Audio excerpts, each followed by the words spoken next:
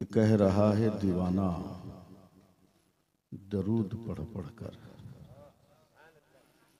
ये कह रहा है दीवाना, दरूद पढ़ पढ़ कर, मुझे है खुल्द में जाना, दरूद पढ़ पढ़ कर।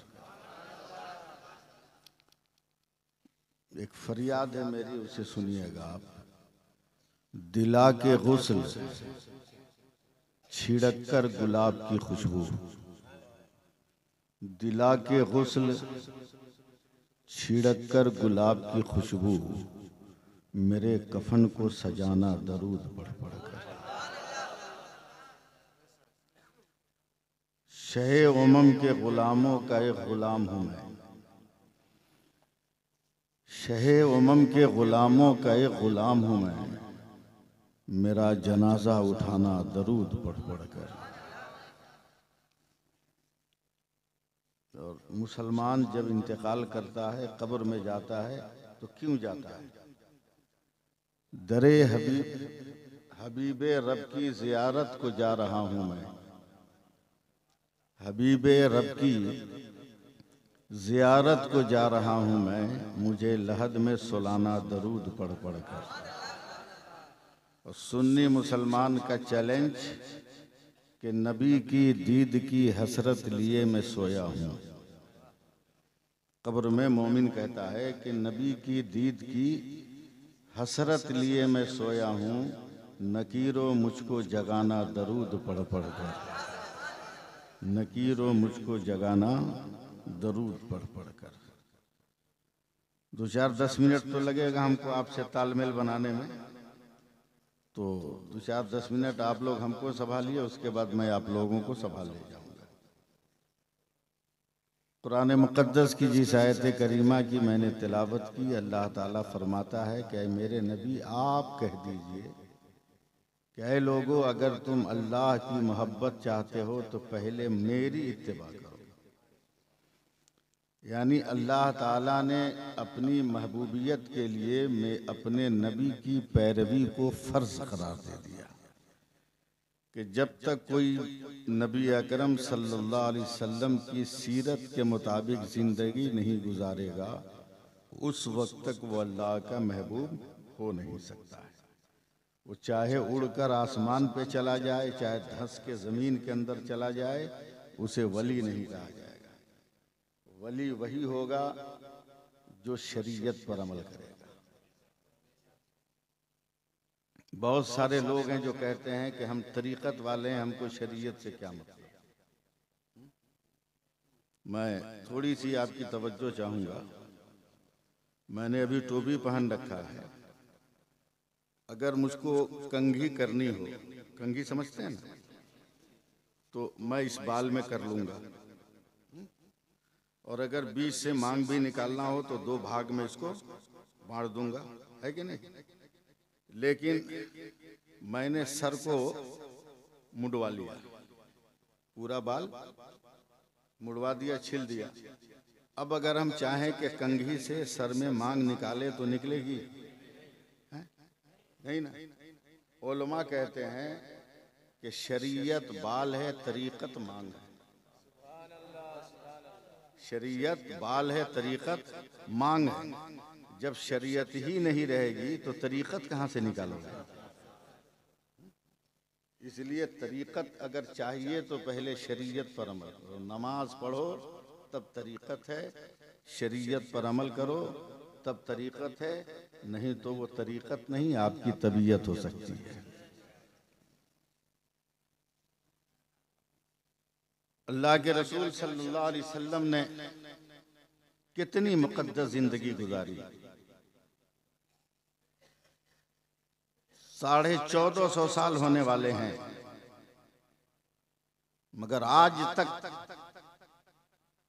पूरी दुनिया में किसी भी मज़हब और धर्म के गुरु, घंटाल या मानने वालों की ये हिम्मत नहीं हुई कि मेरे नबी की ज़िंदगी के किसी एक अमल पर भी उंगली उठा दे। सवाल ही नहीं पैदा। मैं सिर्फ़ आपका जहन तैयार कर रहा हूँ। अभी तकरीर जब देखूँगा शुरू करना है तब शुरू करूँगा। ये जुल्म जबर और बर्बरियत की दुनिया है। ये दुनिया जुल्म बर्बरियत की दुनिया है ये। हर तरफ़ जुल्म। और अब तो ठोकने की सियासत आ गई। जिसको जहाँ चाहो वहाँ ठोक दो। लेकिन उन जालिमों को ये नहीं मालूम है कि भारत के ये कहते हैं, सिसकते हुए मंजर, ख्वाजा पिया के ख्वाब की ताबीर नहीं है, और हर धर्म के लोगों का यहाँ हक है बराबर, भारत किसी के बाप की जागीर नहीं है।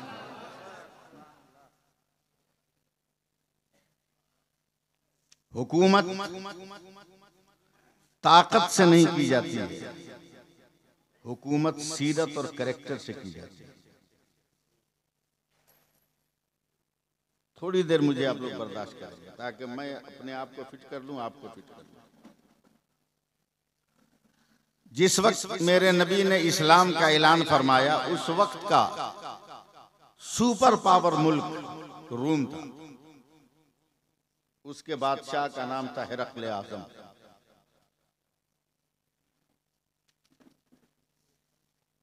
उसने बद्र ओहुद, मक्का की जंग की तफसील सुनने के बाद अपना एक जासूस भेजा मदीने में।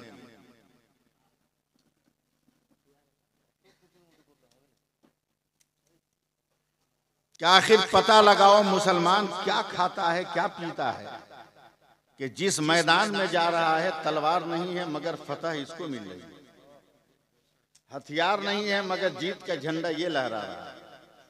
पता लगाओ कि मुसलमान क्या खा रहा पी रहा है। हिरकल आज़म का जासूस मदीने में आया। उस वक्त मेरे नबी सल्लल्लाहु अलैहि वसल्लम बैठकर वज़ू फरमा रहे थे। वज़ू कर रहे थे। और वज़ू का एक कतरा पानी भी चारों तरफ़ खड़े साहब कराम ज़मीन पर नहीं गिरने दे रहे सुबह अल्लाह बोलना चाहिए था यार एक कतरा पानी भी ज़मीन पर गिरने नहीं दे रहे थे। यहाँ तक कि मेरे नबी मुँह में जो पानी रखकर फेंकते थे जिसको हम कुल्ली कहते हैं उस पानी को भी सहाबा अपने हाथों में लेकर अपने चेहरे पर अपने जिस्म पे कपड़े पे मिलते हिरकले आज़म का जासूस जब पलटा है रूम मदीने से तो उसने हिरकले आज़म को कहा कि बादशाह पैसे से हथियार खरीद सकते हो पैसे से सिपाही खरीद सकते हो मगर पैसे से हिम्मत और मोहब्बत नहीं खरीद सकते। मुसलमान हथियार से जंग नहीं जीत रहा है वो मोहब्बत सरकार से जंग जीत रहा है। मोहब्बत सरकार से जंग जीत रहा है।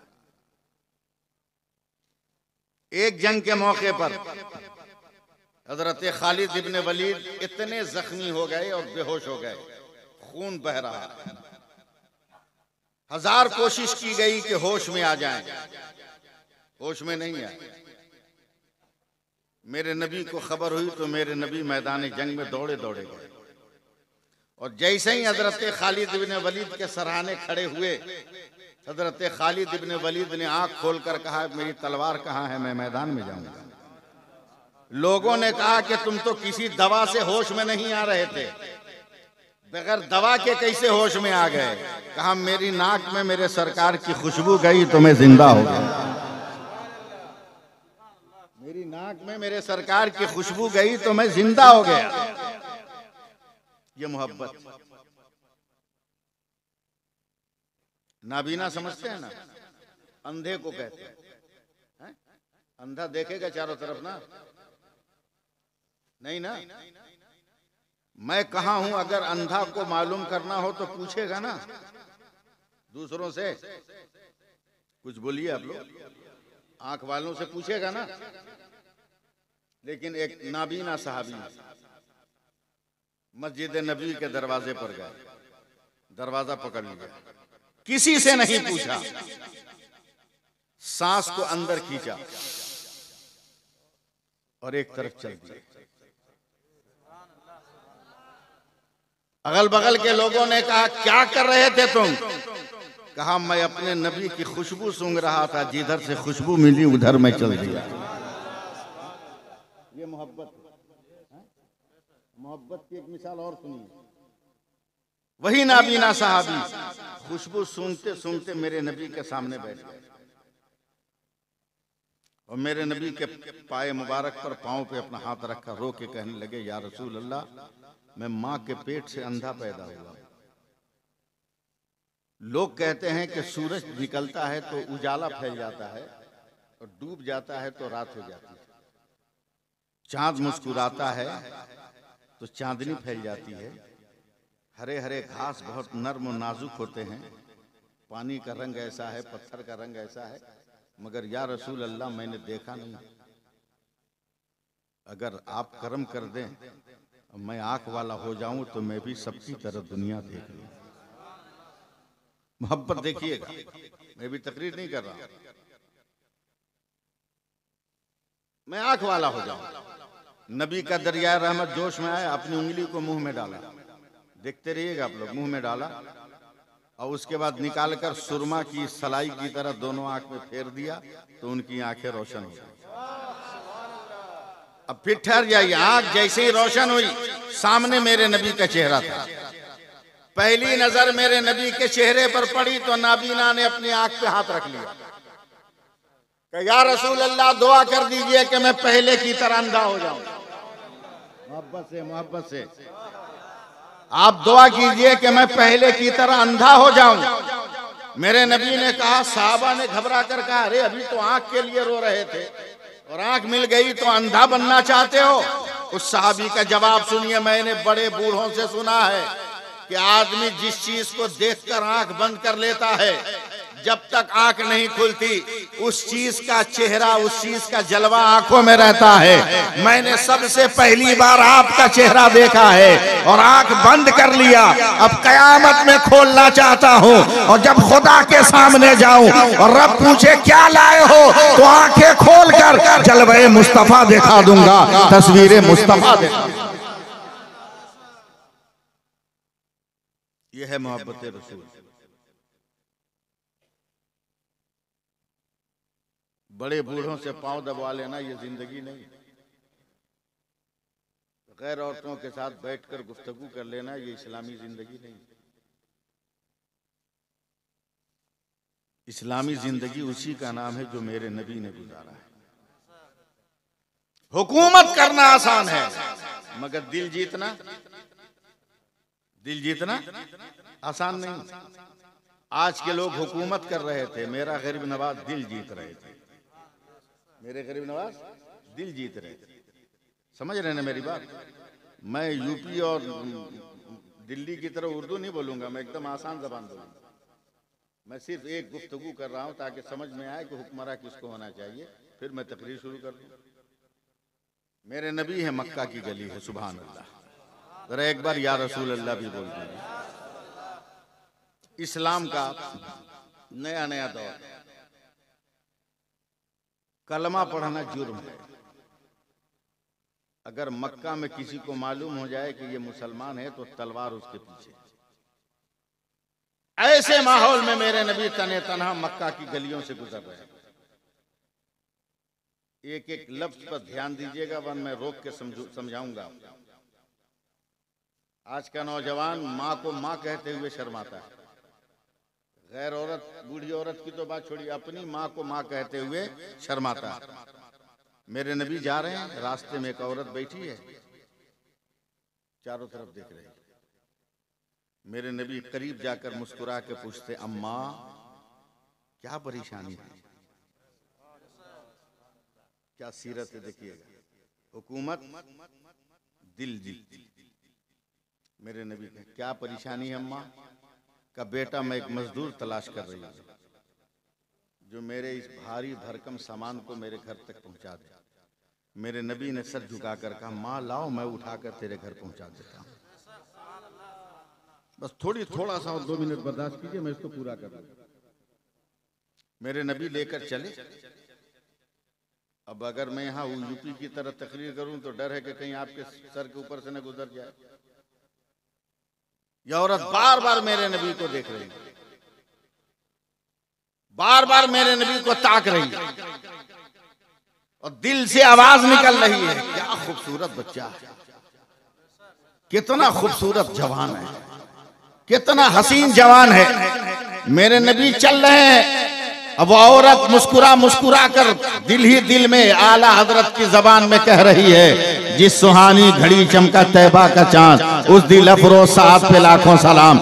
नबी के नबी के भावों को देखा तो औरत ने मुस्कुरा कर आला हज़रत की जबान में कहा कि जिसके सजदे को मेहराब काबा झुकी, उन भावों की लताफत पे लाखों सलाम। सुबह अल्लाह नहीं कहिएगा तो हम ज़बरदस्ती भी बुलवा सकते हैं। औरत ने नबी की आँखों को देखा तो बरजस्ता वो कहती है कि ये बरजस्ता वो कहती है कि हाथ नबी के दस्ते मुबारक को देखा तो बरजस्ता वो कहती है हाथ जिस समत उठा गनी कर दिया मौज बहरे समात पे लाखों सलाम मेरे नबी के कान पे नज़र गई है तो औरत फ़ौरन कहती है दूर नज़दीक के सुनने वाले वो कान काने लाले करामत पे लाखों सलाम। नबी को जब मुस्कुराते हुए नबी को होठों को देखा है तो औरत दिल ही दिल में कहती है पतली पतली गुले कुछ की पत्तियाँ उन लबों की नजाकत पे लाखों सलाम। से देख रही है मेरे मुस्तफ़ा को। और देखते देखते कहती है, बेटा, आज तक किसी माँ ने तेरी तरह खूबसूरत बेटा नहीं जन्म दिया होगा। बोलिएगा आप लोग, ए बेटा, मैं मरने के करीब बूढ़ी हो गई हूँ। न जाने कब कब्र में चली जाऊँ। मेरी एक नसीहत नोट कर ले। कहा, क्या? बोला, सुना है कि अब्दुल्ला के मरने के बाद उसकी बीवी आमना की कोख से एक बेटा जन्म लिया था जो अब जवान हो गया। है वो मक्का में कह रहा है खुदा एक है मैं उसका रसूल हूँ। ए बेटा उस मोहम्मद के चक्कर में मत पड़ना। तुमको बाप दादा के दिन से अलग कर देगा। उसके चक्कर में मत पड़ना। मेरे नबी खामोश। कुछ बोल नहीं रहे। खामोश। थोड़ी देर के बाद सुन रहे हैं ना आप लोग? थोड़ी देर के बाद फिर वो कहती है ए बेटा अगर कभी आमना सामना हो जाए मोहम्मद से तो उससे बात भी मत करना। वरना सुना है कि जो उससे बात करता है वो भी उसी का हो जाता है? मेरे नबी मुस्कुरा रहे अभी भी कुछ नहीं कहा। किरदार देखिएगा, सीरत देखिएगा। हुकूमत नहीं। घर करीब आ गया। मेरे नबी ने सामान उतार के रख दिया। औरत ने आंचल का कोना खोला। दो चार दिरहम थे। मेरे नबी की तरफ़ बढ़ाया तो मेरे नबी ने कहा, माँ, मैं जवान हूँ, मेरे पास ताकत है। कहीं और मजदूरी करके कमा लूँगा। तुम बूढ़ी हो, इन पैसों की तुम्हें ज़रूरत है, तुम रख लो। वो औरत कहती है, बेटा, इन्हीं सब बातों के लिए मैं तुमको कह रही हूँ कि सब काम ठीक है, लेकिन मोहम्मद के चक्कर में मत पड़ना। उसके चक्कर में पड़ना तुम भी उसी के हो जाओ। मेरे नबी अभी भी कुछ नहीं बोल रहे, मुस्कुरा रहे और धीरे से जब पलटे हैं तो औरत पीछे से कहती है, बेटा, रुक जा। तूने बेसहारा का सहारा बनकर मजलूम का की हम का, का हिमायती बनकर बेकस का कस बनकर लावारिस का वारिस बनकर बता दिया कि अब गरीबों का कोई मसीहा आ गया है। ए बेटा अपना नाम बता।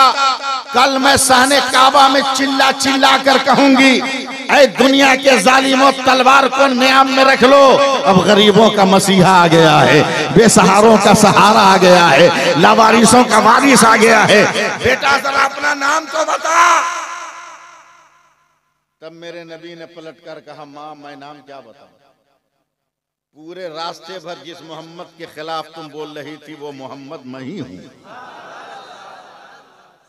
इतना सुनना था, वो औरत कदमों पे गिर गई और चीख कर कहती है, कसम परवरदिगार की, अगर तू ही मोहब्बत है तो मैं गवाही देती हूँ कि कयामत तक तुमसे अफजल कोई पैदा नहीं हो सकता है, तुमसे बड़ा कोई जन्म नहीं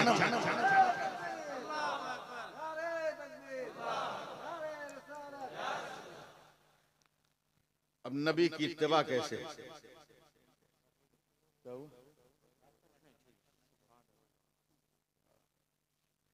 मैं अलग हट जाऊँगा माइक ठीक बज रहा है हाँ। क्या है हम लोगों के पास कुछ है, है? जो चाहता है वो ठोक दे रहा है। जो चाहता है वो मार दे रहा है। जबकि हम ही हैं कि हम जो चाहते थे वो हो जाता। जो चाहते थे, हो जाता।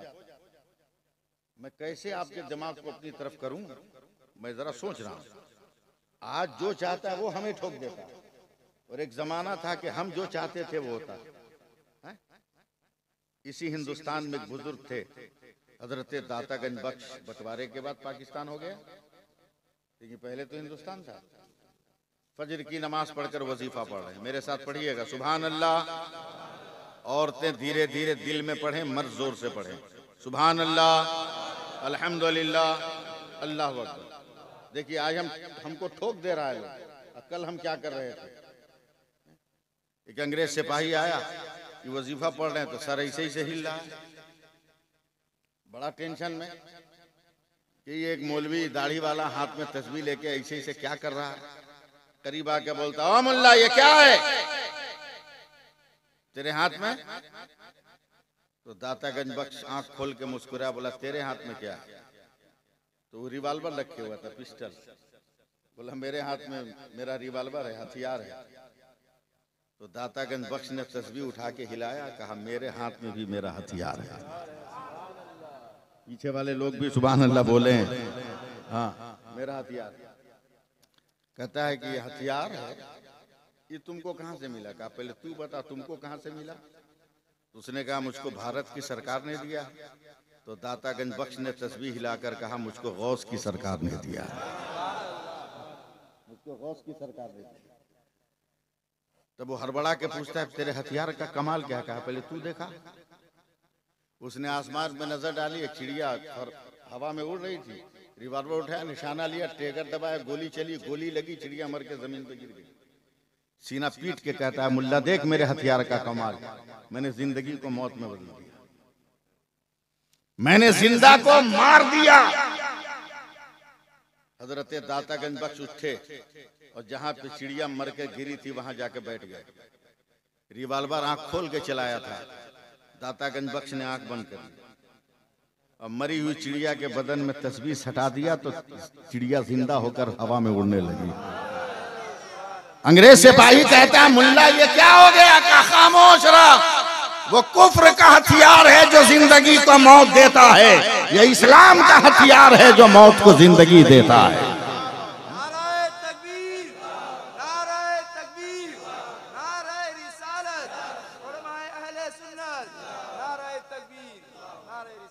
बदल गए इतने जल्दी हम। कल मुर्दे को हम ज़िंदा कर रहे थे आज हम जिंदों को मुर्दा किया जाए एहसास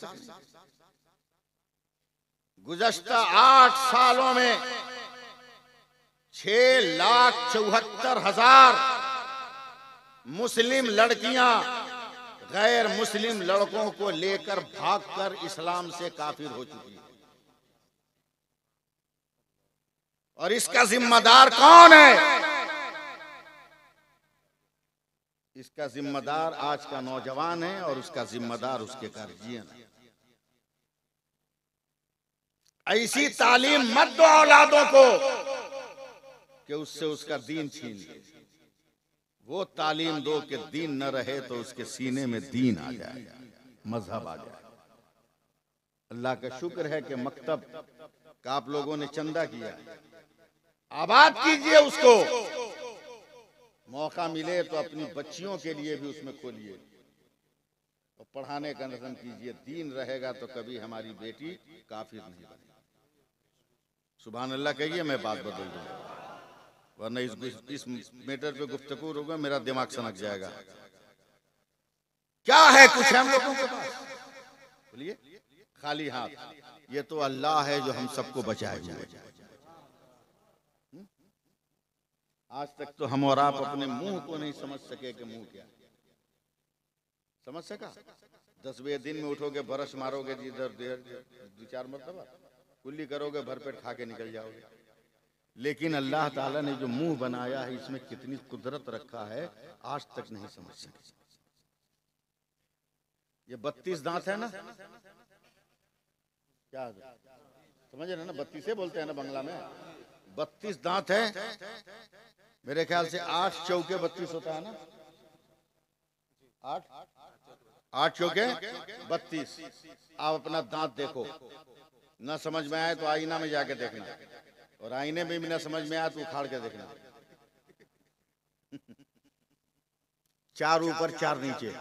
चार ऊपर, चार नीचे। समझना? चार ऊपर, चार नीचे। आगे जो आठ है, इसमें एक नोक है। उसके बाद जो आठ है, उसमें दो नोक है। उसके बाद जो आठ है, उसमें तीन नोक है। उसके बाद जो आठ है, उसमें चार नोक आखिर क्यों? ये सिस्टम क्यों अल्लाह ताला ने पैदा किया हमारे दांत में? इसलिए कि हलक के बाद जो चीज़ है, जिसमें अतड़ी वगैरह, इतना नाजुक है कि अगर कोई टाइट कोई सख्त कोई भारी भरकम चीज़ चली जाए तो वो चीज़ छिल जाए या फट जाए। तो मेरा बंदा मेरा ज़िक्र नहीं कर पाएगा सुबहान अल्लाह नहीं कह पाएगा। ला इलाहा नहीं कह पाएगा। जरा मोहब्बत से बोलिए। अल्लाह ने यह सिस्टम रखा पहले एक नोक बाद में दो नोक उसके बाद तीन नोक उसके बाद चार नोक। उंगली घुटा के चेक करो। मैं कितना सच कह रहा हूँ। कि अगर ये टाइट खाए सुपारी, सख्त चीज़ खाए तो एक नोक वाला दो टुकड़ा करे, वो पीछे फेंके तो दो नोक वाला उसको चार टुकड़ा करे, वो पीछे फेंके तो तीन नोक वाला और उसको महीन करे, और वो पीछे फेंके तो चार नोक वाला इतना उसको नरम कर दे कि मेरे बंदे के शिकम में जाए तो नुकसान न करे, उसकी जबान भी सलामत रहे, उसका हलक। इतना एहतमाम किया मेरे खुदा। लेकिन हमारे पास कुछ है। अल्लाह की मेहरबानी। से एक वाकया सुना रहा हूँ। तदीस नेमत के तौर पर सुन लीजिएगा। और दिल पकड़ के रखिएगा कहीं पसलियाँ तोड़ के निकलने कयामत के दिन मेरे नबी फरमाते हैं कि अल्लाह के हुक्म से एक मुसलमान का अमल वज़न होगा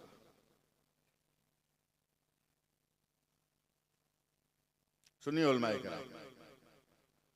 निन्यानवे नेकी एक गुना। कितनी नेकी?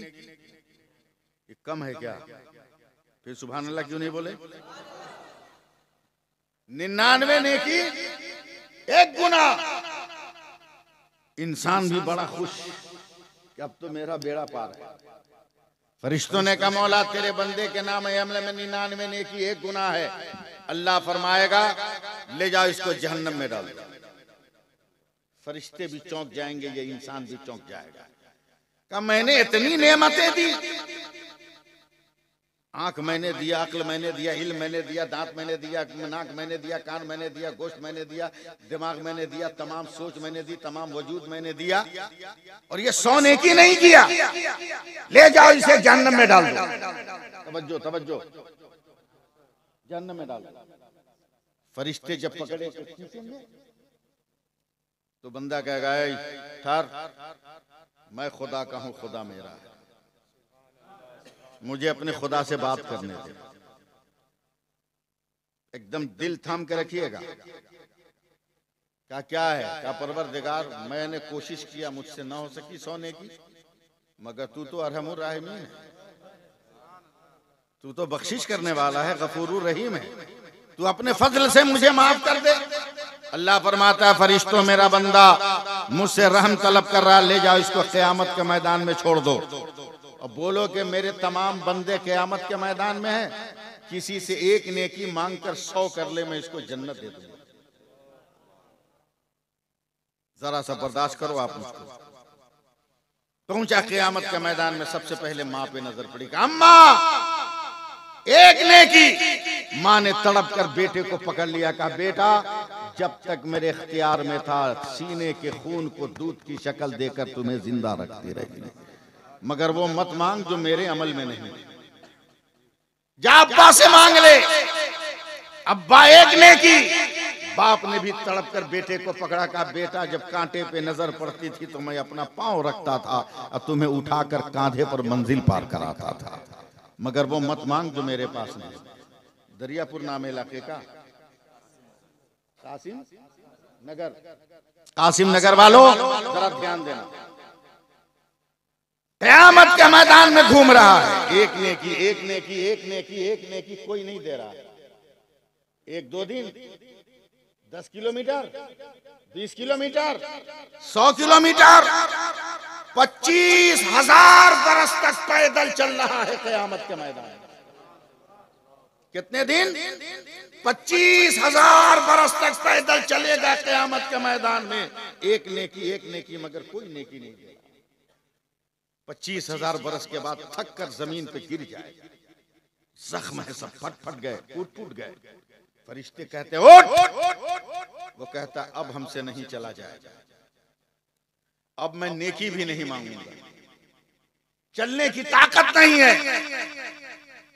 अब ले चलो, खुदा का हुक्म है, जहन्नम में डालने का मुझे जहन्नम में डाल दो। फरिश्ते इसको उठा के ले जाते हैं जहन्नम के दरवाजे पर। जैसे ही पहुँचे, देखा कि इसके गाँव का, गाँव बोलते हैं, क्या बोलते हैं? गाँव बोलते हैं ना? इसके गाँव का एक आदमी पहले से जहन्नम के गेट पे खड़ा। ये हैरत से पूछता अरे भाई तू? बोला, हम तुम्हारी तरह बेवकूफ़ हैं जो वज़न कराने जाएँगे। बोला, क्या मतलब? बोला, तुम्हारा रिज़ल्ट देख के हमको अपना रिज़ल्ट समझ में आ गया। बोला, नहीं समझे?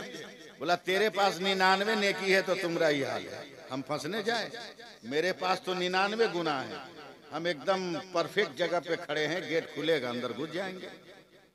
इतनी कठिनाई कौन बर्दाश्त कर? ये बता, तू क्यों आया? तुमको तो अल्लाह ने इजाज़त दिया था कि एक नेकी का इंतज़ाम कर लो, जन्नत दे दूँगा। का पच्चीस हज़ार बरस पैदल चलने के बाद भी नेकी नहीं मिली। क्या क्या करोगे? जाओ जहन्नम में। अब ये निन्यानवे नेकी वाला जब जहन्नम की तरफ़ बढ़ रहा है तो अचानक निन्यानवे गुनाह वाला खड़ा हो गया। भाई, रुक जा। बोला, क्या हुआ? बोला, मैं तो कंफर्म हूँ कि मैं बच नहीं सकता। लेकिन एक चांस है तू बच सकता है। बोला, कैसे? का मेरे पास जो एक नेकी है ना, वो रख के भी मेरा रास्ता क्लियर नहीं। एक काम करिए, नेकी तू ले ले। कम से कम गाँव का तो एक आदमी जन्नत में चला जाएगा। बोलो यार, बोलो और मोहब्बत से, बोलो और मोहब्बत से। कम से कम गाँव का तो एक आदमी जन्नत में चला जाएगा।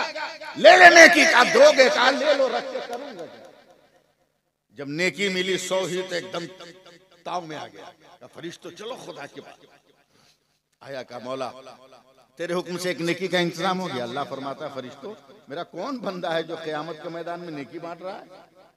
अल्लाह तेरा एक बंदा है जन्नम के गेट पे उसने देखा, उसको भी पकड़ के ला जन्नम के गेट से वो भी लाया गया। अल्लाह ने पूछा, तुमने दिया? कहा मौला, मैंने दे दिया। कहा, क्यों का एक नेकी रख के भी मेरा रास्ता क्लियर नहीं हो रहा था? इसलिए मेरे दिल ने फैसला किया कि मैं जाऊँ या ना जाऊँ, जन्नत में कम से कम मेरा एक भाई तो चला जाए। जैसे ही गुनहगार ये जुमला कहेगा, रब फरमाएगा, फरिश्तो, मेरे हुक्म से दोनों को जन्नत में डाल दो। पूरा मजमा पूरा मजमा बोलो, हाथ उठा के बोलो सुबह अल्लाह दोनों को जन्नत में डाल दो। अब फरिश्ते कहेंगे, मौला, वो मुकम्मल परहेजगार जन्नत समझ में आई। ये मुकम्मल गुनहगार इसको जन्नत कैसे? तो अल्लाह फरमाता है, फैसला कर, जब बंदा होकर मेरे बंदा पे रहम कर रहा है तो क्या मैं अल्लाह होकर अपने बंदा पे रहम ना करूँगा? नाराय तकबीर नाराय तकबीर नाराय रिसालत नाराय हैदरी, उलमाए अहले सुन्नत नाराय तकबीर नाराय रिसालत। सिर्फ़ खुदा के फजल से नमाज़ पढ़ोगे नहीं और चक्कर में रहोगे, रखो रखो यार। सब मदरसे में जाएगा, मकतब में जाएगा। नमाज़ पढ़ोगे नहीं आईपीएल का ड्रीम एलेवन का? हैं? कमा लो एक करोड़। जितना इंटरनेशनल प्लेयर है, सब जुआ खिलवा रहा है भारत का। और जितना सुपरस्टार हीरो है, पूरे भारत को गुटका खिला रहा है। कभी किसी प्लेयर को बोला कहते सुना क्रिकेटर को, कि बच्चों को स्कूल में पढ़ाओ। या किसी फ़िल्म स्टार को सुना कि बच्चों को स्कूल में पढ़ाओ। फ़िल्म स्टार गुटका फाड़ के प्रचार कर रहा है। और क्रिकेटर जुआ खिला के प्रचार कर रहा है। क्यों उनके पीछे जा रहे हो? उनके पीछे चलो, जिसका नाम गौस कहा है। सुबह अल्लाह जिसका नाम गरीब नवाज़ रखा गया है। जिसका नाम इमाम अहमद रजा रखा गया। जिसका नाम मखदूम कचौचा रखा गया। जिसका नाम अलाउल हक पंडवी मखदूम बंगाल रखा गया है। ऐसों के पीछे चलो, तेरी दुनिया भी आबाद, तेरी आखिरत भी आबाद हो जाए लॉकडाउन याद है कि नहीं? याद है? सदमा नहीं है। क्या कीजिएगा, ये भारत है, जहाँ जाहिलों की हुकूमत है। पढ़े लिखे लोग तो है नहीं। डॉक्टर घुस दे के बना। ऑपरेशन करने से पहले मरीज़ मर गया। दांत का डॉक्टर घुस दे के बना। निकालना था बाएँ तरफ़ का, निकाल दिया दाहिने तरफ़ का। आँख का डॉक्टर घुस दे के बना। ऑपरेशन किया, बेचारा जो भी थोड़ा बहुत नज़र आता तो वो भी खत्म हो गया। इंजीनियर घुस दे के बना, पुल का उद्घाटन हुआ नहीं, पुल गिर गया? जाहिलों का दौर है।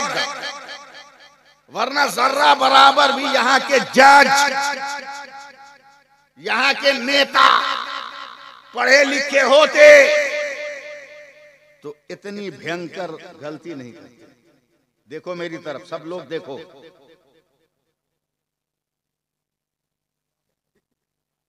बोलो ज़ोर से। ज़ोर से बोलो। क्या है? ये चार इंच का कपड़ा। इतना पावरफुल पूरी दुनिया की मेडिकल साइंस कहती है कि अगर ये चार इंच का कपड़ा अपने नाक और मुँह पे लगा लिया तो दुनिया की सारी बीमारियों से बचने के लिए काफ़ी है। अब कर्नाटक के उन जाहिल जजों से पूछो, जो मुस्लिम बेटियों का निकाब उतरवा रहे हैं। अबे जब तेरे चार इंच का कपड़ा इतना पावर रख रहा है तो हमारी बेटियों का निकाब कितना पावर रख रहा होगा अल्लाह बेशक हक है, सुभान अल्लाह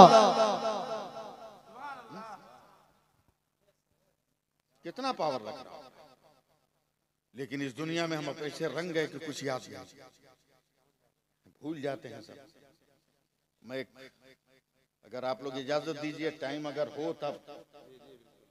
सुनिएगा? दस पंद्रह मिनट लेकिन लग जाएगा।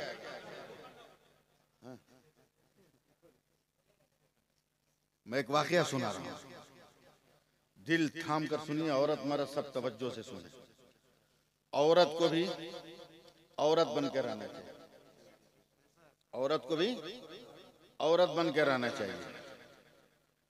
ये औरत जो एकदम, अब औरत नहीं रही औरत, अब औरत नहीं रही औरत का माना ही है पर्दा। औरत का नाम ही है पर्दा मगर कौन समझाए इन औरत? को अल्लाह पना कहाँ से इनको अकल आई? किसने इनको पुश किया? समझ में बात नहीं। हदीस पाक में आया कि शौहर अगर कहीं काम से आया तो चुपचाप बिस्तर पे लेट गया। समझ रही ना? औरतें भी मेरी आवाज़ समझ रही होंगी ना? वो भी हिंदी जानती है ना? चुपचाप आके बिस्तर पे सो गया। और औरत सब काम छोड़कर गई और शौहर का पाँव दबाने लगी। मेरे नबी कहते हैं, जमानत दे दो कि मैं उसको अपने साथ लेके जन्नत में जाऊँगा सुन लिए समझ गई होंगी ना बेटियाँ? दूसरी हदीस सुनो। मेरे नबी फरमाते हैं कि औरत को अगर इस बात का यकीन हो कि मेरे मेकअप करने से मेरा शौहर मुझसे खुश रहेगा। तो मैं औरत को हुक्म देता हूँ कि नफिल नमाज़ को छोड़कर वो मेकअप करे ताकि उसका शौहर खुश हो। मगर ये औरत कितनी टेढ़ी है? हम्म? शौहर के साथ जैसे तैसे रहेगी। बाल कहीं और है। नाक से पानी बह रहा है। हाथ में कालिक लगी है। कपड़ा लत्ता का ठिकाना नहीं। जैसे तैसे रहेगी शौहर के साथ।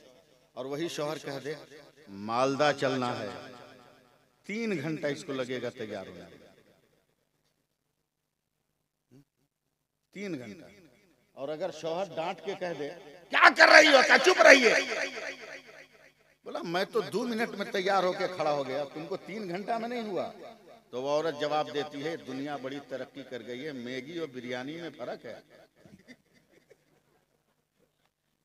मैगी जल्दी से बन जाती है, बिरयानी बगैर दम पे चढ़ाई नहीं बनती? अब जरा सोचो कि ये जो बन ठन के निकली है, जो इसको देख ले, वो भी जहन्नमी या जिसको ई जिसको देख ले, ये भी जहन्नमी। जबकि मेरे नबी फरमाते हैं कि जिसने शौहर को मोहब्बत की नज़र से देखा, मेरी जमानत है कि मेरी सारी रहमतें उसके साथ हैं। एक ऊँट ने मेरे नबी के कदमों पर अपना सर रख दिया। तो साहबा ने कहा, या रसूल अल्लाह जैसे ऊँट ने आपके पैर पे सर रखा है, क्या हम भी अपना सर रखें? मेरे नबी ने कहा, खबरदार, अगर खुदा के अलावा किसी का सजदा जायज़ होता तो मैं बीवियों को हुक्म देता कि वो अपने शौहर को सजदा करें। ये हाल है मियाँ बीवी का। मगर इसमें कसूर आपका भी है। बगैर पाँच लाख रुपये लिए आप निकाह नहीं करोगे तो क्या करेगी हुकूमत नहीं करेगी तो क्या करेगी? आप सादगी से निकाह करो, फिर देखो उसका रंग। तो इजाज़त है, मैं शुरू करूँगा क्या लॉकडाउन की पीरियड देखा कितनी मुसीबत थी। एक मजदूर है, मुसलमान है, मगर दीनदार है सुबह बुखार लग गया। मैं इस वाक्य में आपको समझा नहीं पाऊँगा आपको कुछ समझना होगा। वरना समझाऊँगा तो फिर मज़ा खत्म हो जाएगा। बुखार लग गया। डेली कमाना डेली खाना। अगर एक दिन कमाई बंद हो जाए तो दूसरे दिन खाना नहीं बंद हो जाएगा। औरत जो बीवी है फ़ौरन ताड़ गई कि मेरा शोहर बीमार हो गया। इसका मतलब कि आज काम नहीं करेगा तो कल खाना नहीं बनेगा। उसने चावल को, भात को चूल्हे पे चढ़ा के और गीला करके पानी डाल के बढ़ा दिया। सुनिएगा दाल में पानी डाल के बढ़ा दिया। सब्ज़ी में पानी डाल के बढ़ा दिया। थोड़ा थोड़ा करके आज का दिन काट लिया। थोड़ा थोड़ा दिन होके कल का दिन काट लिया। मगर अब वो पानी का पानी भी न रहा। तब औरत अपने शोहर के सामने हाथ जोड़कर खड़ी हो गई। का मेरे सरताज, बुखार कुछ हल्का हुआ है। पूरे आठ घंटा नहीं, कम से कम चार घंटा कहीं मजदूरी कर लीजिए। आधी मजदूरी भी मिल जाए तो किसी तरह मैं दो दिन अपने बच्चों को पाल ले जाऊँगा। वो मुसलमान नौजवान चादर ओढ़ा, मजदूरों की लाइन में लग गया। एकदम कासिम नगर वालों एकदम सपोर्ट करना मेरा। मजदूरों की लाइन में लग गया, मगर बुखार से काँप रहा है। कमज़ोर है। किसी सेठ साहूकार और ठेकेदार ने इसकी तरफ़ ध्यान नहीं हार कर पछता कर घर पहुँचा, घर की तरफ़ चला।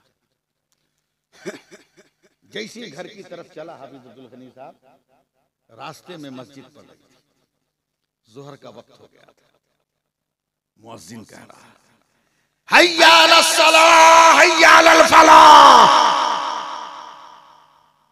सुबहान अल्लाह हमारा बाल बच्चा बोलेगा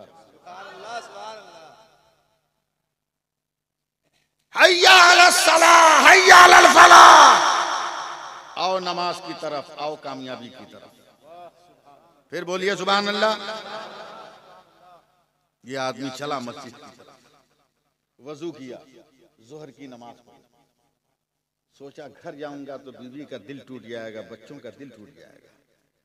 शाम तक इसी मस्जिद में रहता हूँ, कभी तिलावत कर रहा है, कभी दरूद पढ़ रहा है, कभी वजीफा कर रहा है, कभी ज़िक्र कर रहा है। बोलते बोलते, बोलिए बोलिए बोलिए। नहीं बोलिएगा, मज़ा नहीं आएगा। रात का तीन बजने वाला है, आप जब तक बोलिएगा नहीं, तब तक हिम्मत कहाँ बढ़ेगी मेरी? ढाई बजेगा अभी शाम हो गई असर की नमाज़ पढ़ के घर चला। उस वक्त का सिस्टम यह था कि मालिक अगर बहुत पैसे वाला है तो तीन दिन पे मजदूरी देता। जैसे ही घर पहुँचा देखा शोहर खाली हाथ बेगम ने कहा कोई जुगाड़ नहीं लगा? शोहर ने मुस्कुरा कर कहा मालिक बहुत बड़ा है। लगा नहीं ये जुमला लगना चाहिए था। मालिक बहुत बड़ा इस आश्रय में कह दिया कि कल मजदूरी मिल जाएगी तो मेरी, मेरा भरम रह जाएगा कल फिर जाके लाइन में खड़ा, मगर दोपहर तक खड़ा रहा कोई मजदूरी नहीं मिली फिर पलटा मस्जिद के गेट पे आया तो मौजिन की आवाज़ बुलंद हुई फलाह। एक लहर पैदा होना चाहिए मजमे में हैया फलाह। आओ नमाज़ की तरफ़, आओ कामयाबी की तरफ़ फिर चला मस्जिद, वज़ू किया। नमाज़ पढ़ी, ज़िक्र तिलावत में लगा रहा। फिर मगरिब के वक्त खाली हाथ पहुँचा। बेगम ने कहा, कुछ जुगाड़? बोला, कह दिया ना, मालिक बहुत बड़ा है। मालिक बहुत बड़ा है। सब्र तीसरे दिन की जब सुबह हुई, जब शोहर घर से निकलने लगा, बेगम ने कहा, मालिक बहुत बड़ा है तो आज तीसरा दिन है। ये झोला लीजिए। दाल, चावल, आटा, सब्ज़ी, तेल, मसाला लेके आइएगा। बड़ी मुश्किलों से पानी में पत्थर गर्म कर कर के बच्चों को दिलासा दिया। मरता क्या ना करता, ये तो जान रहा है कि मजदूरी किया नहीं।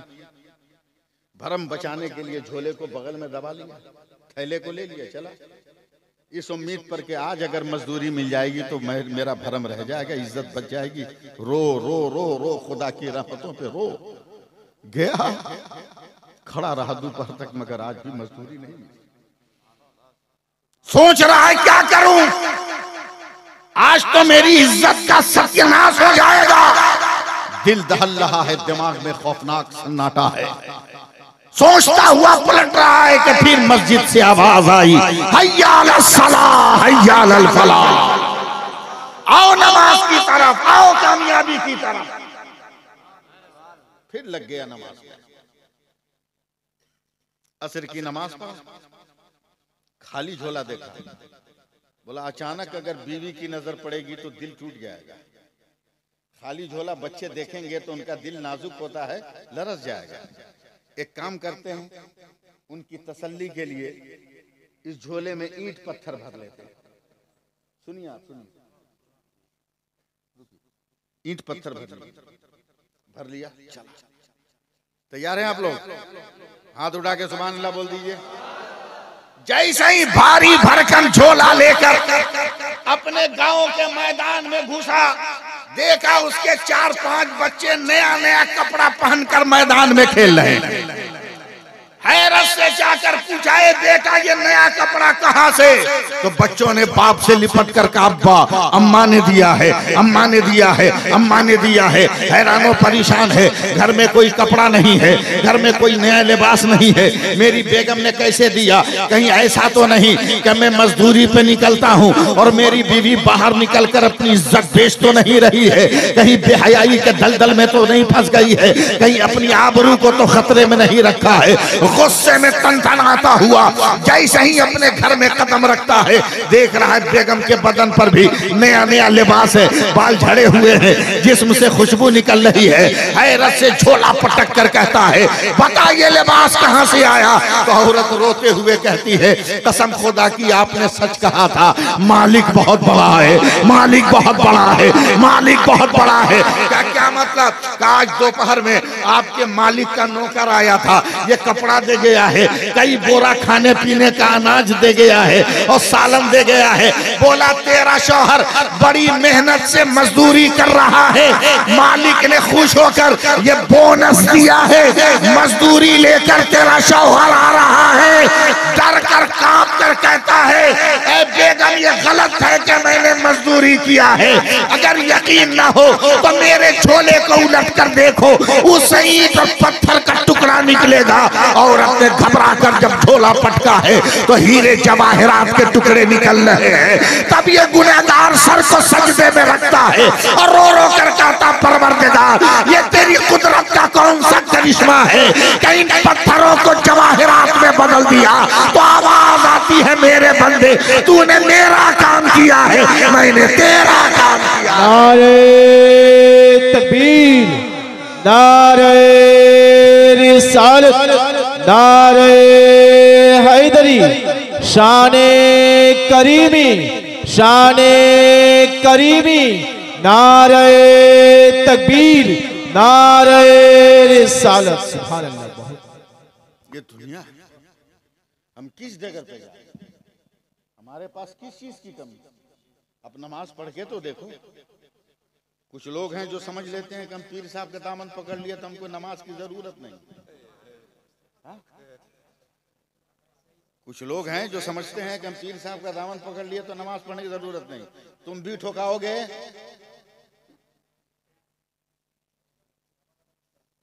अब इसके आगे समझो, मैं नहीं बोलूँगा।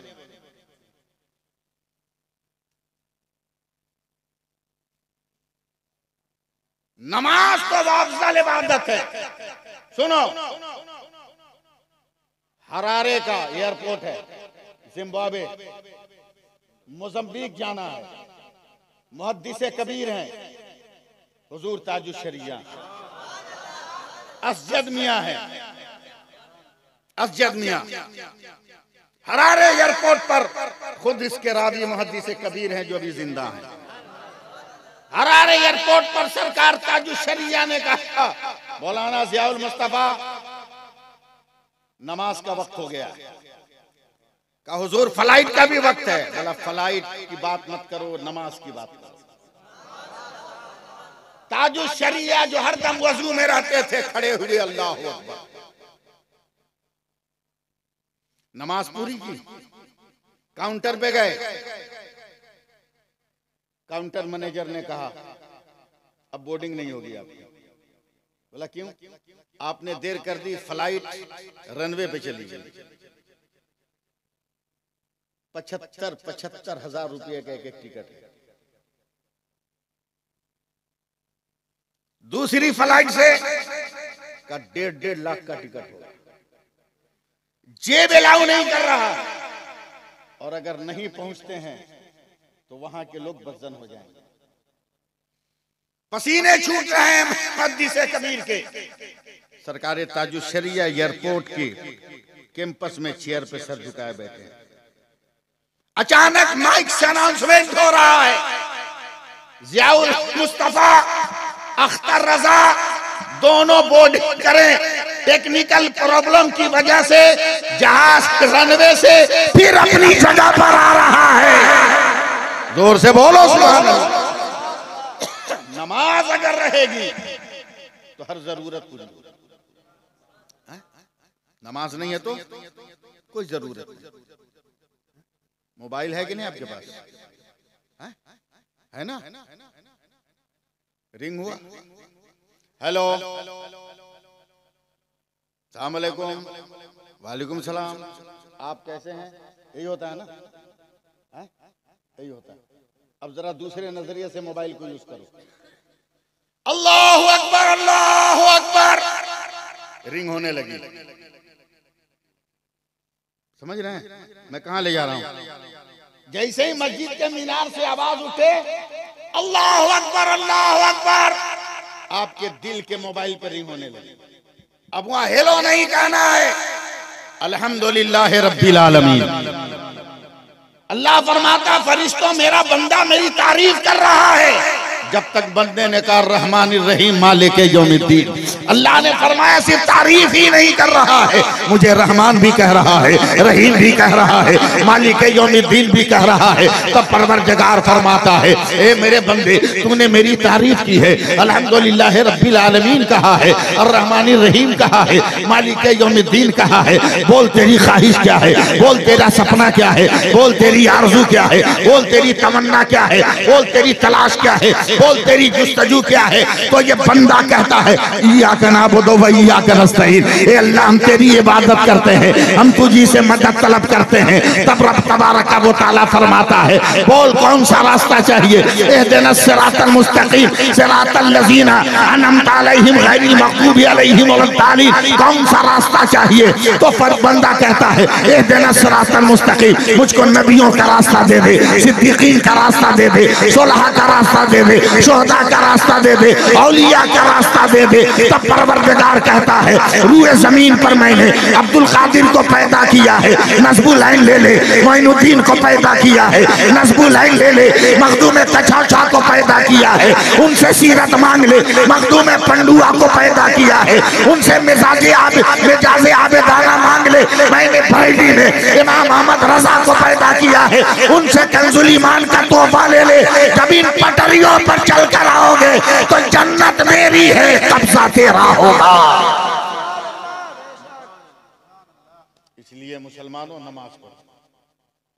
नमाज़ पढ़ो? क्या हुआ? खत्म कर रहे हैं।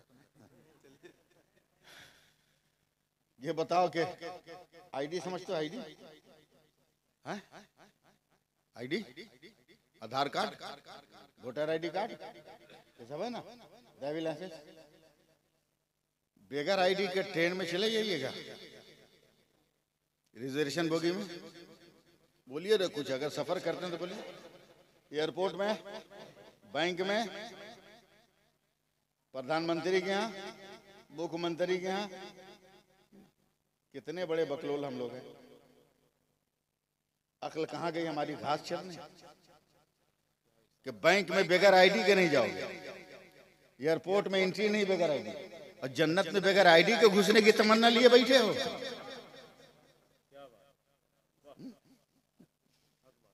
जन्नत में बगैर आईडी का घुसने की तमन्ना बेटा उसके लिए भी हज़रत, बाबा आदम का घर है तो उसके लिए भी खतियान दिखाना होगा। ज़मीन का कागज़ दिखाना होगा।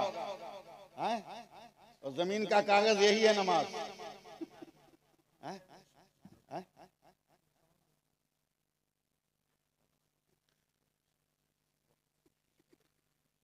अब मैं इस पे जुमला नहीं लगाऊँगा। जो खुद जाने का हल ना हो, लेके गया गाड़ी वही चलाएगा जो ड्राइवर होगा। हर कंडक्टर गाड़ी नहीं चला सकता। जो ड्राइविंग सीखा हो, वही ना गाड़ी चलाएगा। खलासी भी चला देगा। एक्सीडेंट हो जाएगा कि नहीं हो जाएगा बात समझिए इशारे के बगैर नमाज़ के। बगैर नमाज़ के? कुछ नहीं। नमाज़ है तो सब। नमाज़ है तो सब है। नमाज़ नहीं तो कुछ नहीं। अजान दे गई हज़रत बिलाल की हस्ती। हाँ, पढ़िए। अजान दे गई हज़रत बिलाल की हस्ती। नमाज़ पढ़ गए दुनिया में करबला वाले। और डॉक्टर इकबाल कहते कहता है कि हो सके तो लाइए दोनों जहाँ मीजान में। हमने एक सजदा ज़मीन करबला से ले लिया। हो सके तो लाइए दोनों जहाँ मीजान में हमने एक सजदा ज़मीन करबला से ले लिया। नमाजें पढ़ो, फजल होगा तुम पर। नबी से मोहब्बत करो, अकीदत याद है आपको मस्जिद नबवी शरीफ में? आज मिंबर है मार्बल का। शुरू दौर में लकड़ी का था। शुरू दौर में लकड़ी का था। और एक खजूर का सूखा हुआ पेड़ था, जिस पे टेक लगा के हुजूर सल्लल्लाहु अलैहि वसल्लम नहीं, मिंबर नहीं था। एक खजूर का पेड़ था जिसमें टेक लगाकर हुजूर सल्लल्लाहु अलैहि वसल्लम खुतबा देते थे। तो एक सहाबिया औरत ने लकड़ी का मिंबर बनवा दिया कि, या रसूल अल्लाह इस पर चढ़कर या बैठकर आप खुतबा दें समझे? वो खजूर का पेड़ सूखा हुआ पेड़ बगल में गाड़ा हुआ है, उसके बगल में मस्जिद नबी में मेहराब रख दिया गया, वो मिंबर रख दिया गया।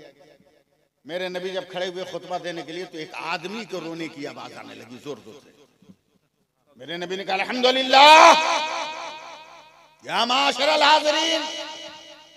जैसे कोई बेख्तियारी में चीखता है ना, वैसे कोई चीखा। मस्जिद नबी के सारे लोग मेरे नबी हरे से देखने लगे, कौन रो रहा है, कौन चिल्ला रहा है? देखा सब खामोश है। मेरे नबी और आगे बढ़े। तब ये खजूर का जो पेड़ था, सूखा हुआ हिलने लगा। अरे वहाबियों को समझाओ ना। बदकीदों को समझाओ। समझाओ समझाओ। हाँ? हिलने लगा। तब नबी ने देखा। तो नबी ने हाथ रखा। तो उस पेड़ के अंदर से आदमी की तरह रोने की आवाज़ आने लगी। तब नबी मिंबर से उतर के उसको सीने से लगा लिया। फिर नहीं बोले आप लोग सुबह सीने से लगा लिए तो हिल हिल के रोने लगा। नबी ने कहा, क्यों रो रहे हो? पेड़ से आवाज़ आती, या रसूल अल्लाह मैं आपकी पीठ से, आपके करवट से, आपके सीने से लगकर ज़िंदगी गुजार रही थी। मगर मिंबर बनने के बाद आपने अपने अपने से मुझे जुदा कर दिया। ये जुदाई बर्दाश्त नहीं हो रही। मेरे नबी ने कहा, क्या चाहता है तू बोल? अगर तू कहे तो मैं तुम्हें यहीं से जन्नत में डाल दूँ अगर कहे तो इसी मिंबर के नीचे ज़मीन खोद कर तुम्हें दफन कर दूँ। लकड़ी का वो सूखा पेड़ कहता, या रसूल अल्लाह जन्नत में अगर जाता हूँ तो जब कयामत आएगी, आप जाएँगे तब मैं देखूँगा। इसलिए मिंबर के नीचे गाड़ दीजिए कि हर वक्त आपके कदमों के तले पड़ा रहूँगा। तकबीर नारे तकबीर नारे रिसालत अजमत मुस्तफ़ा नारे तकबीर नारे रिसालत। आप अमल करके तो देखो मैं अपनी तारीफ़ नहीं कर रहा हूँ मगर आप लोगों को सबक देना चाहता हूँ। मेरी उम्र बहुत ज़्यादा नहीं बहुत ज़्यादा मेरी उम्र? नहीं है। अभी सिर्फ़ इकसठ साल का हुआ। ये कोई ज़्यादा थोड़ी है?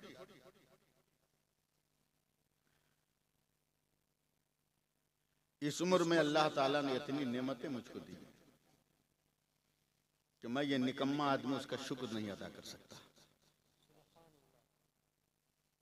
हिंदुस्तान का कौन गाँव, कौन शहर, कौन मदरसा, कौन खानका है जहाँ मैंने तकरीर नहीं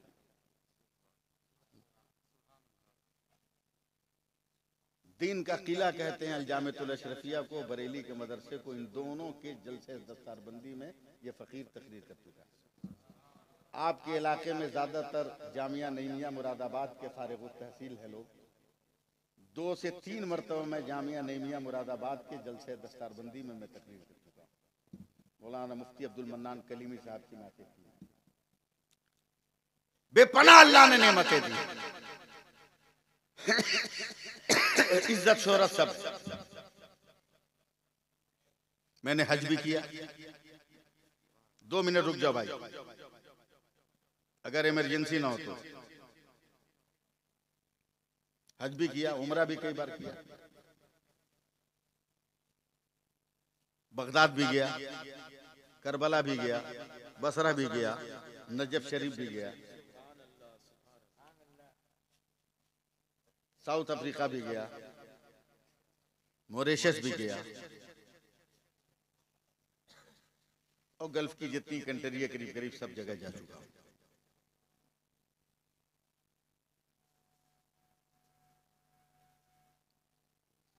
जब मैं बगदाद शरीफ गया तो फजर की नमाज़ पढ़कर ग्यारहवीं शरीफ की शब में मैं जब रोज सरकार गौसे आज़म से फातिया पढ़ के बाहर निकला तो एक आदमी ने मुझको पकड़ लिया।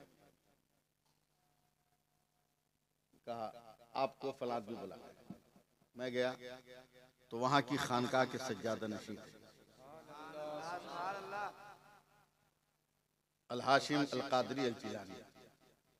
उन्होंने मुझे खिलाफत दिया, जुब्बा दिया, इमामत दिया। हिंदुस्तान की कितनी खानकाओं की खिलाफत मुझको मिली है, मुझको खुद याद है। अब मैं आपको कुछ कहना चाहता हूँ। दो मिनट का वक्त लूँगा। अगर इजाज़त दीजिए तो। इन हाथों ने गुंबद खतरा की दीवारों को भी छुआ है। सुबहान अल्लाह बोलिए। रोज़ रसूल की जालियों को भी मैंने छुआ जन्नतुल बकी में बैठकर एकदम सबसे आखिरी, यानी नबी के रोज़े की दीवार से सटा हुआ मैंने ढाई घंटा गुजारा। ये रियाजुल जन्ना में, रियाजुल जन्ना में मैंने ढाई घंटे गुजारा। काबा का किला भी छुआ, काबा की दीवार भी छुआ, हजर असवद भी छुआ, मकाम इब्राहिम भी छुआ। जब करबला गया, आप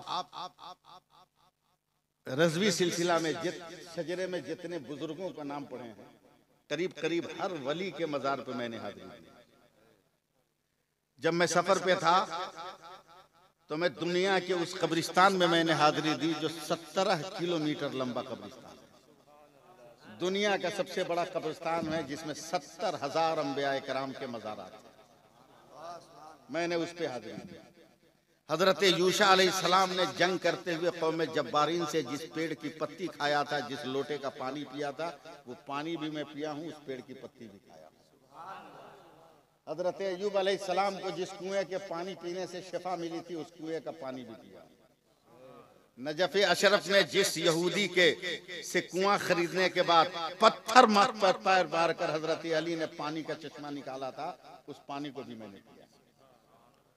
तूफ़ान नू जिस चूल्हे के अंदर से निकला था उस चूल्हे को भी मैंने छुआ। समझे? तमाम बुज़ुर्गों के मजारात पर गया। ये कादरी फकीर आज कासिम नगर में हम्म? मैं चाहता हूँ कि कुछ फैजान आपको भी मिल जाए। कुछ फैजान आपको भी मिल जाए। और मैं कुछ लेके अपने घर नहीं जाऊँ आप जो भी दीजिएगा मेरे हाथ में दीजिए दस पाँच बीस करके जो भी देना हो दीजिए मेरे हाथ पर टच कीजिए ताकि आप तक फैजान पहुँच जाए मदरसे को मकतब को पैसा पहुँच जाए। अगर कोई ऐसा है तो आओ। इतना में तो पूरा मजमा उखड़ के आ जाना चाहिए। औरतें नहीं आएँगी मैं उनके यहाँ बच्चों को भेज आ जाओ इससे बड़ा इससे बड़ा सरमाया नहीं मिलने वाला। है हाँ ये फ्री में जो है कादरी कादरी जो है हिसाब किताब आपके हवाले जा रहा है। एक एक आदमी उठ के आ जाओ, पैसा है तब भी आओ, पैसा नहीं है तब भी आ जाओ। ताकि कम से कम फरिश्ते नोट कर लें कि कादरी फकीर जब पुकार रहा था तो रसूलुल्लाह के घर के लिए ये लोग सारे लोग कादरी फैजान लेने के लिए तड़प तड़प कर आ रहे थे। बस स्टेज बचा देना, माइक बचा देना या कुछ बचे चाहे बचे, उससे कोई मतलब नहीं है। अल्लाह ताला फजल फरमाए आप सब पर, आपकी रोजी रोटी में बरकतें अता फरमाए। मकतब का कोई जिम्मेदार आदमी है। तो आप ऐसा कीजिए, ये तौलिया मेरे हाथ में था। ये तौलिया वहाँ भेज दीजिए औरतों के पास। इसको पकड़ती रहेंगी और पैसा देती रहेंगी मकतब के लिए। भेज दिए, मगर तौलिया वापस आना चाहिए। ये भी शर्त लगा दीजिए उसके साथ। आते रहिए, आप लोग देते रहिए। अल्लाह ताला फजल फरमाएगा, अल्लाह ताला करम फरमाएगा। आपकी जायज़ रोजी रोटी में बेपना बरकतें अता फरमाएगा। दीन मज़बूत करेगा। लोगों, पीर ऐसे ही पकड़ो जो तुम्हें जन्नत की राह दिखा दे। पीर ऐसे ही पीर की पैरवी करो जो तुम्हें जन्नत का मुसाफिर बना दे, नमाजी पीर तलाश करो, रोजादार पीर तलाश करो, कुरान पढ़ने और कुरान सुनने वाला पीर तलाश करो, इस्लामी शरीयत पर अमल करने वाला पीर तलाश करो। पैसा है तो पैसा लेकर आइए, अगर पैसा नहीं है तो मत लेकर आइए, मगर आप पैसा छुपा लीजिएगा। रब तबारका वो ताला की कुदरत देख रही है कि मेरा कौन बंदा है जो पाकिट में पैसा रखकर रसूलुल्लाह के घर के लिए पैसा नहीं दिया है। रसूल मेरे मेरे नबी की इत्तेबा करने के लिए पैसा नहीं दिया है। याद रखिए, अगर मदरसा आबाद है तो मुल्क भी आबाद है, घर भी आबाद है। अगर आज जो है तीस, चालीस टुकड़ों में रूस बटा है तो उसकी असल वजह यही है तो उसने मदरसों को बंद कर दिया तो रूस टुकड़े टुकड़े हो गया है। आज भारत में भी मदरसों को बंद करने की कोशिश की जा रही है, मगर जब तक गरीब नवाज़ के दीवाने रहेंगे, आला हज़रत के दीवाने रहेंगे, सरकार सरकार ताजुशरिया के मस्ताने रहेंगे के चराग की रोशनी में ज़िंदगी गुजारने वाले रहेंगे, मखदूम बंगाल का पानी पीने वाले रहेंगे उस वक्त कोई माई का लाल हिंदुस्तान के किसी भी इंसान का बाल नहीं बेका कर सकता है। इसलिए कि हम हैं तो भारत आबाद है हम हैं तो हिंदुस्तान आबाद है हम हैं तो हिंदुस्तान आबाद है। तुम तो टुकड़ों में बटे हुए थे हम आए हैं तो हमने तुमको मुतहिद किया है। और ये गरीब नवाज़ का हिंदुस्तान हुआ है वरना यह हिंदुस्तान कभी पृथ्वी राज का हुआ करता था कभी यह महाराज का हुआ करता था।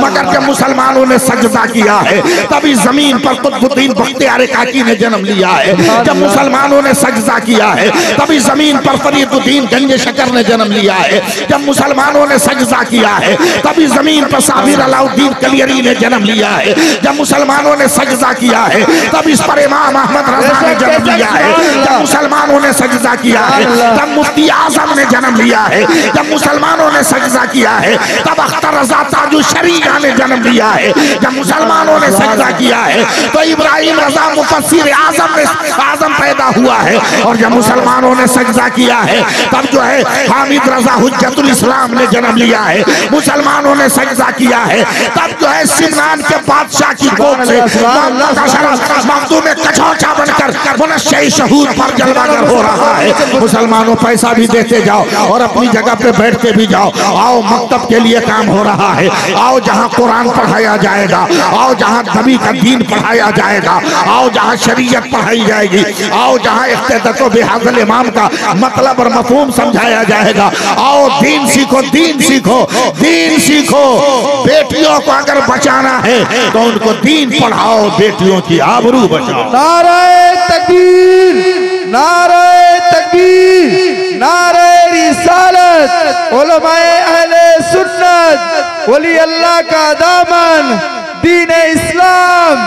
नाराय तकबीर नाराय रिसालत नाराय हैदरी नाराय हैदरी नाराय तकबीर रिसालत हजरात, मेरी पहली मुलाकात थी आपसे। पता नहीं मैं आपके मैार पे उतरा या नहीं उतरा। ये तो अल्लाह बेहतर जानता है। मगर मुझको दीन का पैगाम पहुंचाता था, मैंने दीन का पैगाम पहुँचा दिया। है मैं औरतों से भी गुजारिश करूँगा कि वो नमाजें पढ़ें। आप भी नमाज़ पढ़िए। बिहार में एक बो, बोली बोली जाती है कि जेकरा हाथ में डोई ओकरा हाथ में सब कोई। डोई समझते हैं चमचा को बोलते हैं। हैं? लकड़ी का होता है जिसके हाथ में डोई उसके हाथ में सब कोई। तो औरत अगर नमाज़ पढ़ने लगेगी तो इसके हाथ में तो डोई है। ये घर में ऑर्डर चला सकती है, नमाज़ नहीं पढ़ोगे, खाना नहीं मिलेगा। नमाज़ नहीं पढ़ोगे, खाना नहीं मिलेगा। समझे? लेकिन क्या कीजिएगा, पहले घर में दाखिल होइए ना। तो बूढ़ी औरत कहती थी, बेटा, सलाम अलैकुम। चची कहती थी, मामिया कहती थी, फूफियाँ कहती थी, बाबू, सलाम अलैकुम। बहन कहती थी, भैया, सलाम अलैकुम। भाई कहता था, भैया, सलाम अलैकुम। मगर आज घर में घुसी है ना। पलंग है, कुर्सी है, सोफा है? टेबल है। आदमी भी है, मगर कोई आपको सलाम नहीं कर रहा है? अम्मा पलंग पे मोबाइल लिए पड़ी, बहन सोफा पे मोबाइल लिए पड़ी, भैया टेबल पे मोबाइल लिए पड़ा। सब इतना मगन है इंटरनेट में कि पूरा सेट बिगड़ गया। पूरा सेट बिगड़ गया। इसलिए उस चक्कर में कम रहिए, दीन बचाइए। नमाज़ है तो सब है, दीन है तो सब है। याद रखिए, करबला में करबला में करबला में। अकेले शब्बीर के एक सजदे ने कयामत तक के लिए इस्लाम को वो ताकत दे दिया है कि कोई जालिम सजदे का नूर नहीं चुरा सकता है। तो अगर सब मिलकर हम लोग सजदा करेंगे तो इसकी ताकत का अंदाज़ा लगाइए आप। हम्म? हदीस पाक में आया कि मोमिन चाहे काला हो गोरा हो नाटा हो लंबा हो जैसा भी हो जिस वक्त ये सर को सजदे में रखता है उसी वक्त खुदा को सबसे खूबसूरत लगता है। इसलिए कोशिश कीजिए वक्त बहुत ज़्यादा हो गया मुझे सफ़र भी करना है और लंबा सफ़र करना है। इसलिए मैं अपनी बातें ख़त्म कर रहा हूँ। इन ताला ज़िंदगी ने वफा की मेरी तारीख खाली मिल गई अगर आपको फिर कभी आपने बुलाया। तो मैं हाज़िरी देने की कोशिश करूँगा। हाँ शिरनी मंगवाइए। हाँ।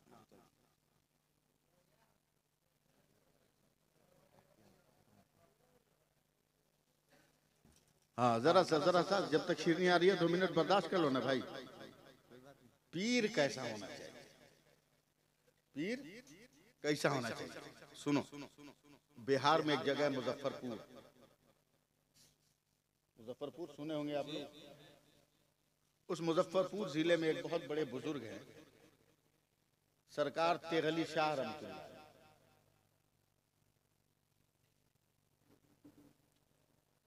वो एक घोड़ा खरीदे थे मुरीदों के यहाँ जाने के लिए। उसी घोड़े पे बैठ के जाते पीर साहब पहुँच गया मुरीदों के यहाँ। मुरीदों ने नाश्ता पानी कराया तो पीर साहब ने कहा भाई हमको खिलाया घोड़ा को कौन खिलाया? तो जिसके घर गए थे उसने लड़कों भैया के घोड़ा के खाने पीने का इंतज़ाम करो? बस बस एक मिनट एक मिनट एक मिनट रुको। ऊपर रखो ऊपर रखो। हाँ एक मिनट रुक जाओ। उसके बाद जो होगा हम समझ लेंगे। हाँ चार बल्टी तो स्टेज पे खत्म हो जाएगी। इसको सुन लीजिएगा, ये छोड़ दे। घोड़ा को भी खिलाओ, पीर कैसा होना चाहिए? बात आई गई, खत्म हो गई। आधे घंटे के बाद, आधे घंटे के बाद एक मुरीद ने आकर कहा हुजूर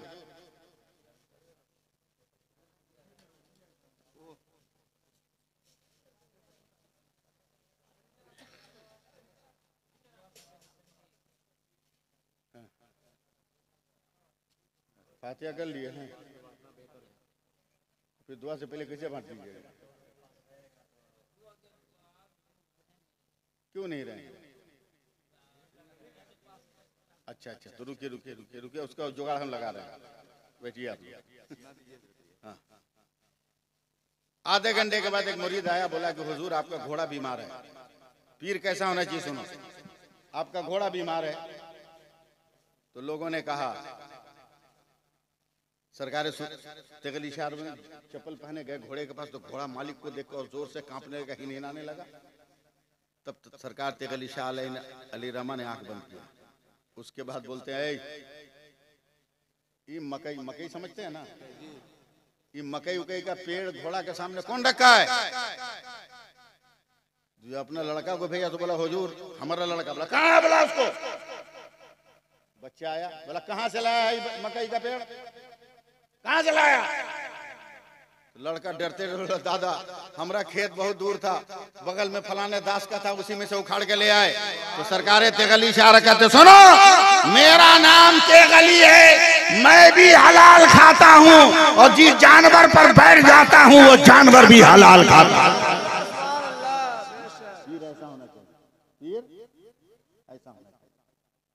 तकरीर तो हमने बहुत की है। पूरे हिंदुस्तान में तकरीर की है। छत्तीस वर्षों से मैं रात दिन बोल रहा हूँ। सफ़र में हूँ।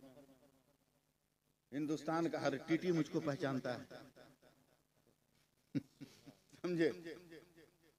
बहुत दिन से हूँ, मगर आज तकरीर में थोड़ा सा मैं चेंजिंग कर रहा हूँ। आप लोग बर्दाश्त कीजिएगा उसको।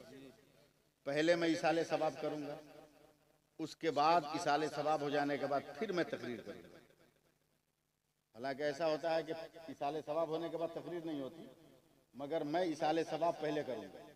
उसके बाद फिर तकरीर करूँगा। बर्दाश्त कर लीजिएगा आप लोग ना, हैं? तो चलिए उठाइए दुआ के लिए हाथ परवरदिगार आलम, सुबह से लेकर अब तक, जो कुछ भी ज़िक्र असकार किए गए, कलमात खैर अदा किए गए, सब तेरी बारगाह में नज़र मौला कबूल फरमा।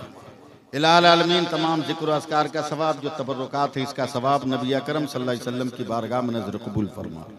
इलामीन उनके सदक़ तुफ़ैल जुमला अम्बिया कराम साहब कराम साहबियात। अजवाज मतारात अहल बैत अतहार महातुलमिन जुमला इस्लाम गैर इस्लाम, जय इस्लाम, जुमला ताबीन, तब ताबीन में मुस्तहदीन, जुमला सलासिल के बुजुर्गान दीन बिलखसूस सिलसिले आलिया, कादरिया, चिश्तिया, नक्शबंदिया सोहरबदिया के जमीय बुजुर्गान दीन की बारगाह में नज़र कबूल फरमा। हाजिर मजलिस जिन लोगों ने जलसे में जिस तरह भी ताउन किया, इनके ख़ानदान में से जो लोग भी इंतकाल कर गए, उनकी अरवाह को इसका सवाब नज़र कबूल फरमा। कोई किसी वजह से अजाब कब्र में मुबतला, उसका अजाब कब्र को रफा दफ़ा फरमा। आलमीन, इस जलसे के सदक़े में हमारे बेटों को, बेटियों को दीन समझने, पढ़ने और जानने की तोफ़ी अता फरमा।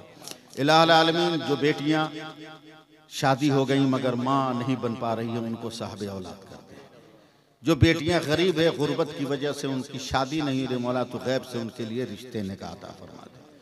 तमाम बीमारों को सेहत कुल्ली अता फरमा। आलमीन, तमाम करदारों को बारकर से सुबदोशी अता फरमा, तमाम रूए ज़मीन के मुसलमानों पर अपना फजल फरमा। परवरदगार आलम, हिंदुस्तान में बसने वाले जुमला सलासी बिलखसूस सिलसिले चिश्तिया, सिलसिले रजविया, शरफिया, करीमिया और दिगर सलासिल के जो मोतमद बुजुर्गान दीन हैं, उनके सबको तुफैल, हम सबको हिदायत के रास्ते पे चलने की तोफ़ी रफ़ीक़ता फरमा। तमाम लोगों की जायज़ तमन्ना को पूरी फरमा दे। आलमीन, आखिरी दुआ है कि जैसे माँ को औलाद की मोहब्बत दिया, बाप को अपने बच्चों की मोहब्बत दिया, उसी तरह हम मर्द और औरतों को तू नमाज़ की मोहब्बत अता फरमा दे। नमाज़ की मोहब्बत अता फरमा दे, नमाज़ की मोहब्बत अता फरमा दे। कमेटी के जिन लोगों ने रात दिन हौसला इकट्ठा करके ये काम किया, मौला उनके हौसलों को सलामत रख। जिस मकतब की का तरक्की के लिए चंदे हुए मौला, उस मकतब को दिन दूनी रात चौगुनी तरक्की अता फरमा। हम सबको दारैन की सादतों से माला माल फरमा वसल्लल्लाहु ताला अला खैर खल्क़िही मुहम्मदिन व अला आलिहि व सहबिही अजमईन। रहमतिका या अरहमर राहिमीन, बिहक़ ला मुहम्मदुर रसूलुल्लाह। आप लोग जाइएगा मत मैं तकरीर शुरू कर रहा हूँ। कहाँ उठ गए? बांटने वाला से उठे। अल्लाह फरमाता हल्ला नहीं, मुँह नहीं, हाथ चलना चाहिए। वरना आप लोगों से ज़्यादा गुस्सा बर हम अल्लाह फरमाता है, कुल इनकुन तुम तो ही अल्लाह। बोल दो, सुभान अल्लाह। हाथ में न शिरनी है, मुँह में थोड़ी शिरनी है। हाँ। कह दो है मेरे रसूल, जो मेरा महबूब बनना चाहता है, वो आपका होकर आए। आपका होकर आए, और आपका कैसे होकर आए? तो उसके लिए बरेली का इमाम मोहम्मद रजा समझना होगा। बोलिए बोलिए सुबहान अल्लाह बोलिए। उसके लिए बरेली का अहमद रजा बनना होगा। और कैसे बनना होगा कि जब कहार डोली उठाया, अहमद रजा उठे तो चिल्लाकर ज़ोर से रोकवा दिया, ठहर जा, उतार मुझको। जब लोगों ने उतार दिया, तब आला हज़रत ने कहा, खुदा का वास्ता है तुम में औलाद रसूल कौन? एक ने कहा, मैं हूँ, कहा, जितनी देर आपने मुझको उठाया है, उतनी देर मैं आपको उठाऊँगा। ये मोहब्बत रसूल अगर मिल जाए तो दुनिया भी आपकी है और आखिरत पर भी आपका खतरा होगा। इसलिए दीन की नेमतों से, दीन के खजानों से अपने आप को मुसल्ला कीजिए।